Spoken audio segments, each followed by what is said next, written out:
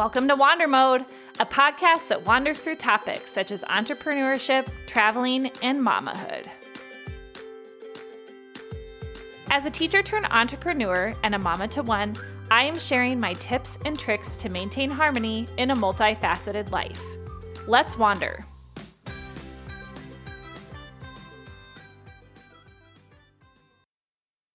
After interviewing Caitlin Cunningham last week and being inspired to adventure with kiddos, I could not help but make today's podcast episode all about why I adventure with my kiddo. It is truly such a rewarding experience. But alongside my stories, I will be sure to share the products or the things or the processes that make adventuring with your kiddo doable. Because I know sometimes we're sitting out there and we hear people say, hey, go do this. And amazing as that sounds, you also then question, well, how? How am I supposed to do that thing? So, first things first, why embark on adventures with a kiddo? Well, similar to Caitlin, I believe the benefits are truly boundless.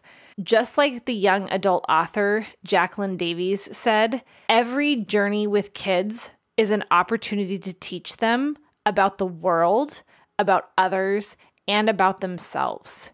This isn't just about creating lasting memories. It's also about fostering a deep connection with a little human.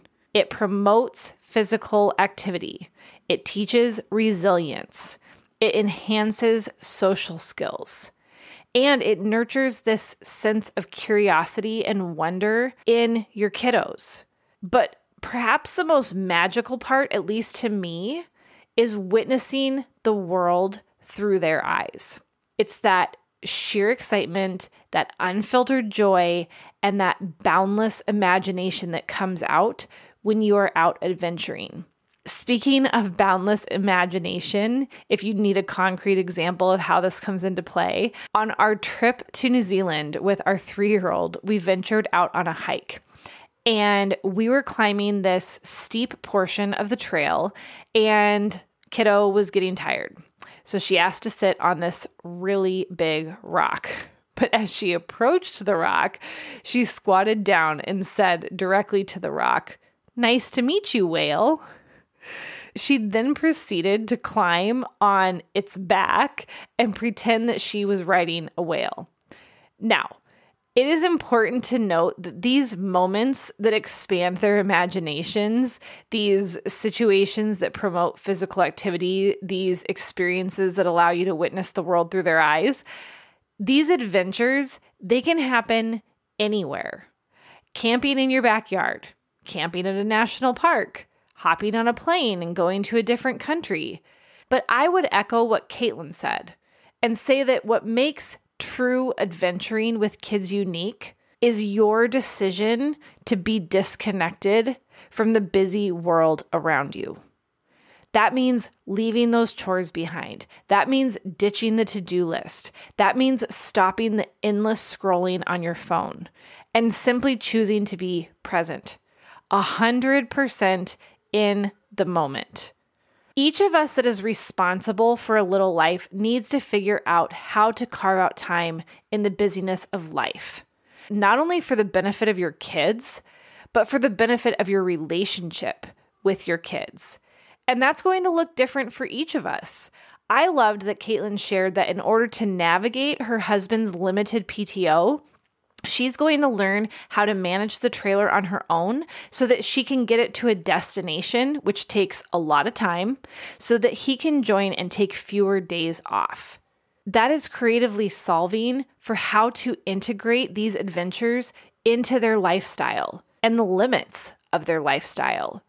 For me, that is carving out and planning adventures that involve faraway destinations, which means that we're taking more time away from our work from home setup. So that means that I'm working during naps. That means that I work when the kiddo goes down for bed. It is not as productive for me as being at home in my office. That is for sure. But it allows us to achieve our goals of seeing countries with our daughter while we can And I will not be at the end of my life regretting that decision to find a way to make it work, to find a way to leave behind the busyness, if not just for a little while.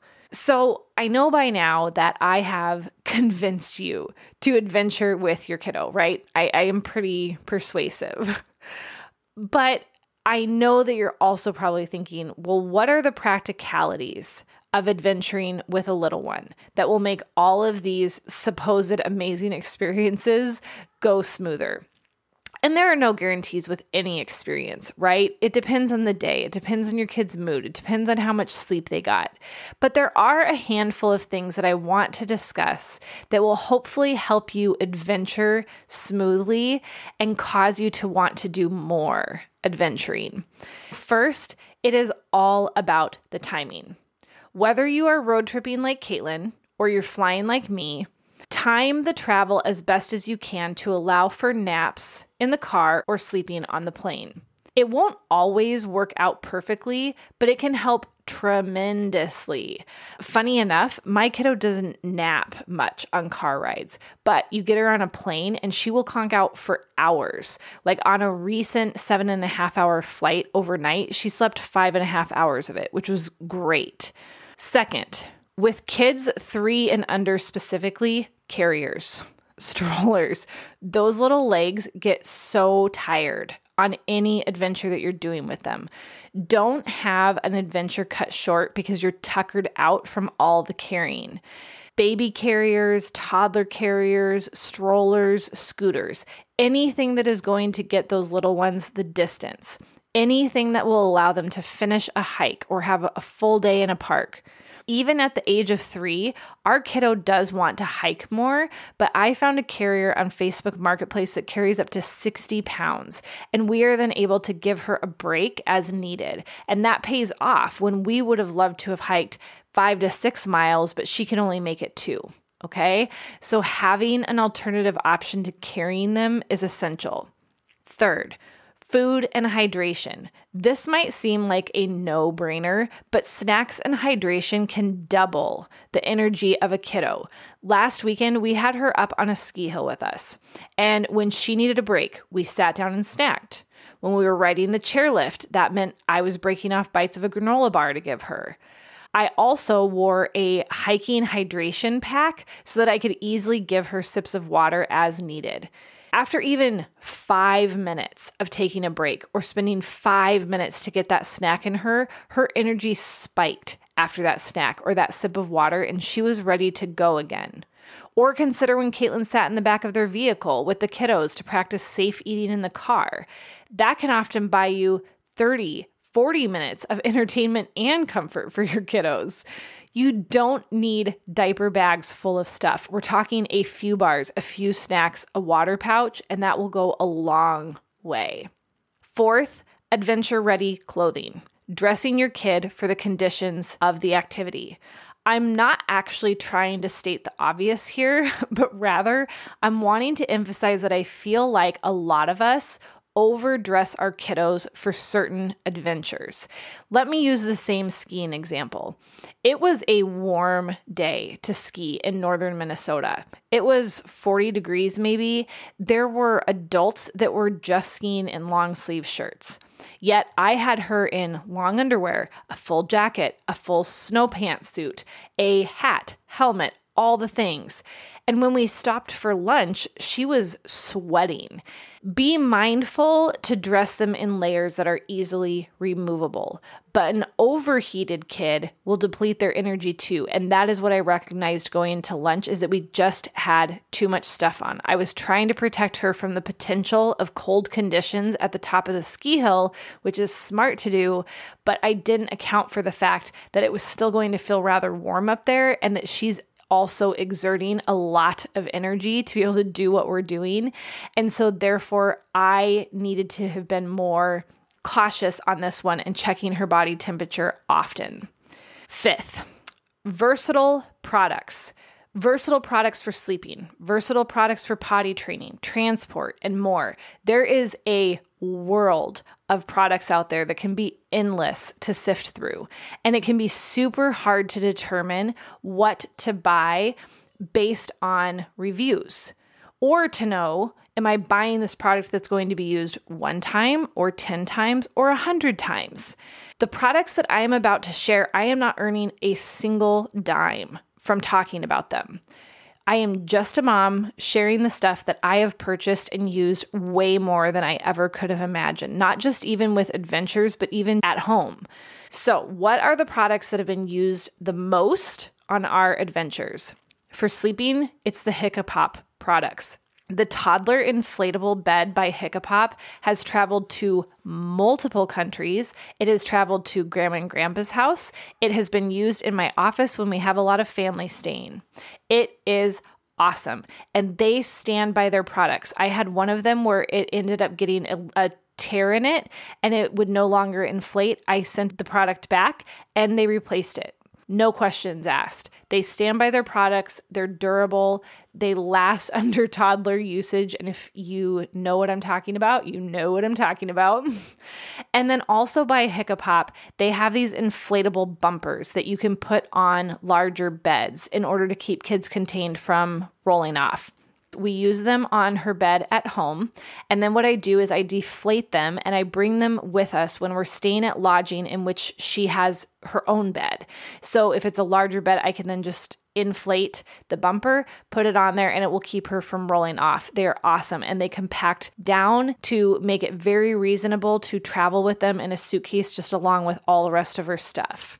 The OXO Tot Travel Potty, which I have talked about on my podcast before, is insanely helpful with a kid who is potty training. We have used this travel potty in porta potties at apple orchards. We have used it in plane bathrooms when she didn't want to use the option that was available. We have set it up in public restrooms on the floor when the toilet seems too intimidating. We have set it up on hiking trails when she has to poop versus pee. We have used it in the back of the car, on the side of the road, during a road trip, when we are miles from a gas station or a rest stop. Because at home, we have a floor potty in her room to use if she were to wake up in the middle of the night or first thing in the morning. We've also then put it in the room that she's staying in on our travels so that she still has access to a toilet so that we don't have to go back to using diapers. As far as transport goes, we have loved the Babyzen Yo Yo stroller. This was perhaps the purchase that I made that I had the most angst over because there are a lot of travel stroller options out there. But what it came down to for me is that you can carry it onto any plane and it fits in the overhead. So then you don't have to gate check it and wait for a stroller with a sleeping kid in your arms. You just always have your stroller. There is no waiting for it to come back up from the bottom of the plane. It's compact. We can navigate towns and buses and shuttles and trains and airports, or we could even keep it in the back of our car for quick access and it's just easy peasy. The bag also has backpack backpack straps to bring it along with you. That stroller has had a ton more use than even like our Bob jogging stroller that we utilize at home.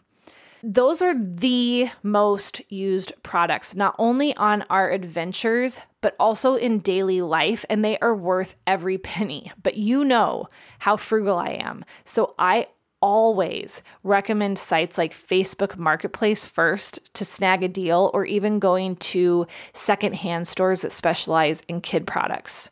The sixth consideration when adventuring with kids is entertainment. And I have actually found a lot of great inexpensive options like the Melissa and Doug puffy sticker books on Amazon or like dry erase books for tracing to work really well for stuff that I can pack in the car or pack onto a plane. But also, you can grab some toys or other things at secondhand stores for kids and then only pull them out when you travel. That way, they're not as used to these items and they're exciting what I do in order to not get overwhelmed by stuff because we travel often is that when I am picking up some new things to use on travel, I always pick the same number of things at home to then donate or sell so that it's a direct swap. She gets access to the thing while we're traveling, but then something else is going that we have at home that's not used as much.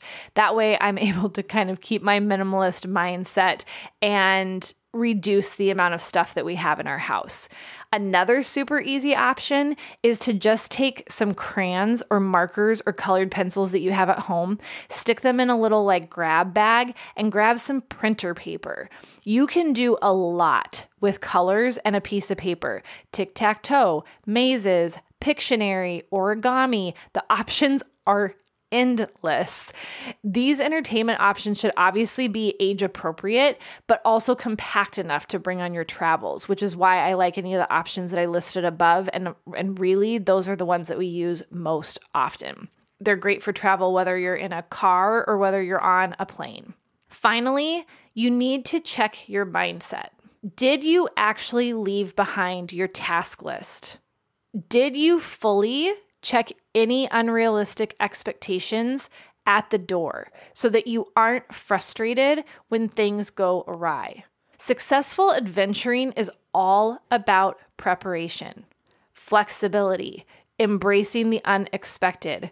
And I guarantee you that if you enter these adventures with an open mind, it will be impossible to be disappointed. It will be impossible to not be able to find at least one benefit or one positive that came from adventuring with your kiddo. So, because I've done such a good job at convincing you to go out and adventure with your kiddo, I'm giving you a task. I want you to drop me a line or a DM on social media, and I want you to let me know how you adventure with your kiddo and some of your go to tips when it comes to successfully wandering this great big world of ours. I can't wait to hear what you have to share. If you wandered to this point in the episode, thank you for listening to the Wander Mode podcast. Please leave a review and subscribe. You can follow me on Instagram and Facebook at WanderModeCo. Reach me by email at julie at wandermode.co. Until next time, wander on.